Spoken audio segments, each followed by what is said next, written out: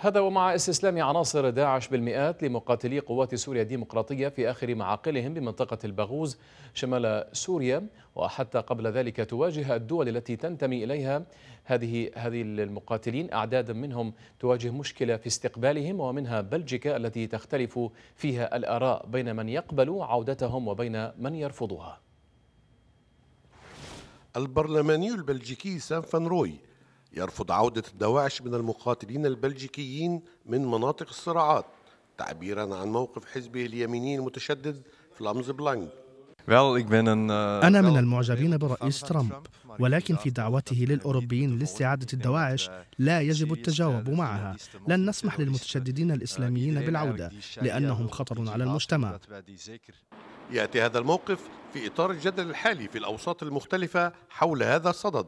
البعض يرى إمكان استقبال الأشخاص الذين حكموا غيابيا وأدانهم القضاء البلجيكي بينما رأى البعض الآخر ضرورة محاكمة الدواعش في مناطق الصراعات التي ارتكبوا فيها جرائمهم.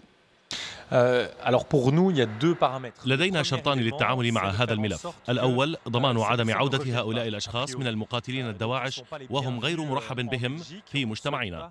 والثاني لا بد من العمل على المسار القضائي من الآن وضمان محاكمة عادلة ووضعهم في السجن ثم مراقبتهم عن كثب بعد ذلك تلك هي آراء الشخصيات السياسية والحزبية في بلجيكا فماذا عن رأي رجل الشارع حول هذا الملف؟